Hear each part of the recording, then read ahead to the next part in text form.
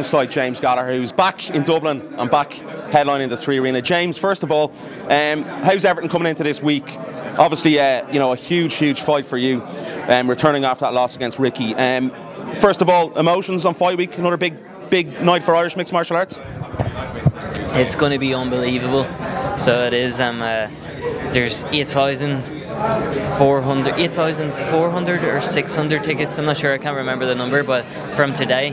So there's only a couple hundred left. It's a packed out arena, and I'm looking forward to going out there on Saturday night and being the main event.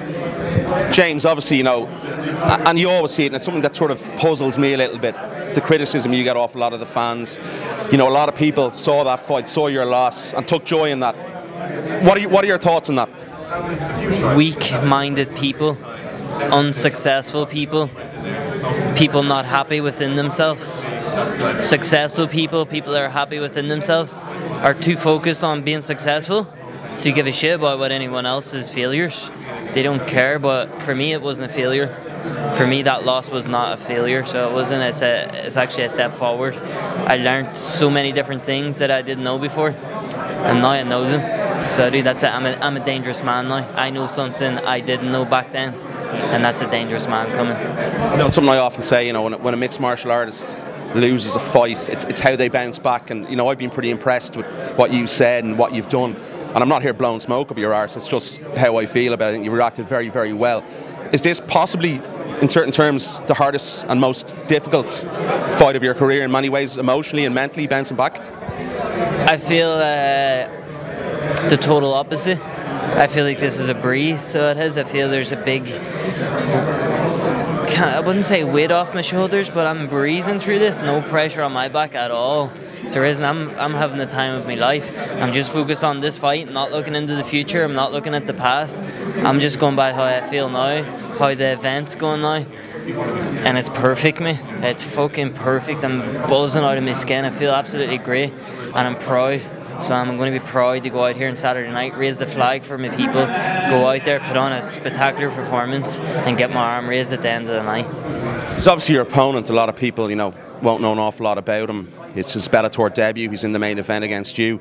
Um, can you fill us in on, or, or, let us know anything about your opponent? Yeah, he's a good opponent, coming off five first round finishes. Uh, brown belt in Jiu Jitsu, same as myself. Uh, submission fighter, fights likes the floor as do I. But I like I, I'll go anywhere with him. I'm going to create opportunities for myself, whether it be on the feet, whether it be wrestling, whether it be on the floor. I'm going to be the creator of my own opportunities, and when I create them opportunities, I'm going to grab them with both hands, and I'm going to get that finish. James, I feel with the TV deal and everything that's gone on with Bellator in the last number of weeks, I think it was crucial, obviously, to get the TV deal. You know, live broadcast, live mixed martial arts on a huge, huge platform. For you, is this maybe like the second wave, the second coming now with all the Irish fighters and everyone else that's involved in Bellator MMA from this country?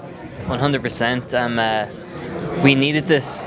We needed this. People who can't come to the shows, people who are not. My granddad is very sick at the minute, so so he can't he can't come, and uh, he's able to going to be watching it on TV and looking forward to going out there and doing letting these people see my hard work and doing them proud. Do you know what I'm saying? There's a lot of people from Strabane that can't come, they can't make it for different reasons, and they're really going to tune in now and, and, and watch, and they're going to see me doing my hometown pride in Strabane and I'm really looking forward to going and do it. It's a big moment for me. It's a big moment for Irish MMA, and I'm looking forward to being the main attraction and to be able to go out there and set a good example for Irish MMA. Do you think that has the potential to do this, be a, sort of a showcase mixed martial arts event for, for Irish MMA? 100%. I feel it's going to show what we're about. So it is a, the the broadcasting is unbelievable. They can see I'm doing my own media with PMP photography. I'm pushing out behind the scenes uh, content, kind of things that people don't really see,